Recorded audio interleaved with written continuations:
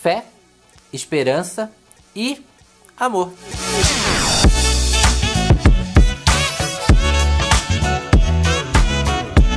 Fala galera, tudo bem? Estamos chegando então ao final de mais uma semana de devocional. Chegando ao final de uma semana onde o nosso tema foi o amor. A gente pode ver várias coisas, se a gente for relembrar, né?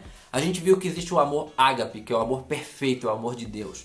A gente viu também que existe o amor que eu posso ter pelo meu próximo. Que quando uma vez eu vivo em Deus, eu tenho que amar o meu próximo também. Eu passo a viver em amor. A gente viu também que Deus me amou primeiro de tudo. Não sou eu que amo Ele ou faço alguma coisa para Ele me amar. Ele me ama. E aí a gente entendeu que o amor de Deus não tem interesse nenhum. Ele não é um amor interesseiro que espera algo em troca. É um amor puro. Por isso, tu pode chegar até Deus do jeito que tu tá. Ah, não, eu preciso fazer isso, preciso fazer aquilo para chegar em oração. Não, não, não, não. Deus, ele te conhece, ele conhece teu coração. Tu pode chegar a Deus da forma que tu tá. Ele vai te amar. Do jeito que tu chegar até ele, ele vai te amar. Beleza? E hoje, para finalizar, tem um versículo muito interessante, muito legal, que está lá em 1 Coríntios 13, 13. Capítulo 13, versículo 13. Ele fala assim: Assim permanece agora estes três: fé, esperança e amor. O maior deles é o amor. Nossa, por que será que o amor é maior do que fé e é maior do que esperança? Vai existir um tempo que a gente não vai mais precisar de fé e nem de esperança. E o amor vai continuar. Como assim? Como assim eu não vou mais precisar de fé? A gente tem fé em Deus. Fé é quando eu tenho certeza de alguma coisa que eu não posso ver. Um exemplo que geralmente a gente usa é o vento. Eu não consigo ver o vento, mas eu sinto, eu sei que ele está aqui. Então eu tenho fé, eu tenho certeza que ele está aqui. Com Deus é assim. Eu não consigo ver, mas eu tenho certeza. Então por isso eu tenho fé. Mas vai chegar um dia que eu vou ver Deus, que eu vou estar no paraíso com Ele. Então agora que eu estou vendo Ele, que Ele está ali na minha frente, eu não vou precisar mais ter fé.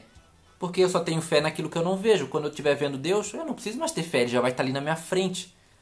Outra questão é a esperança. A gente tem uma esperança no nosso coração de que Jesus vai voltar.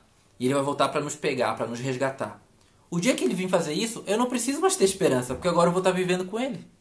Mas o amor vai continuar. Então a fé e a esperança não vou mais precisar no paraíso, mas o amor ele vai continuar. O amor que eu vivo hoje em Deus, de Deus na minha vida, o amor que eu tento viver com as outras para as outras pessoas, o dia que eu estiver no paraíso, eu vou continuar sendo amado por Deus e vou continuar também amando a Deus. Por isso que o amor ele é considerado o maior de todos, porque ele acaba sendo infinito, porque o próprio Deus é amor. Então, gente, se apeguem a isso. Saibam que esse Deus, ele é amor. Ele te ama tanto, tanto que tu não consegue medir o quanto que ele te ama. Eu também não consigo medir o quanto que ele me ama. É um amor que não tem interesse nenhum. Ele simplesmente ama o Dudu. É isso.